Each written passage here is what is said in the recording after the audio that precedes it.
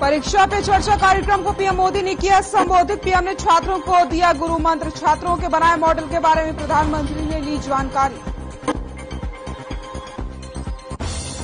परीक्षा पर चर्चा कार्यक्रम से जुड़े सीएम मनोहर लाल, गुरुग्राम के राजकीय मॉडल, संस्कृतिक, सीनियर, सेकेंडरी स्कूल में देखा कार्यक्रम।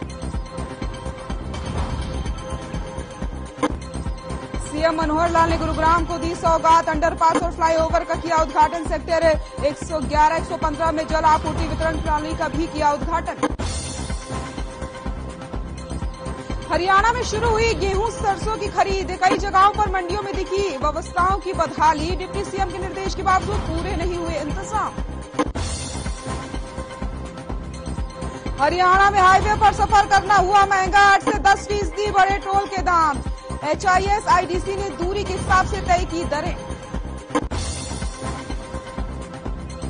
मानेसर के ग्रीन बेल्ट इलाके में लगी कूड़े की ढेर में आग लगातार उठ रहे धुएँ ने बढ़ाई स्थानीय लोगों की मुसीबतें। सांस लेने में हो रही तकलीफ़।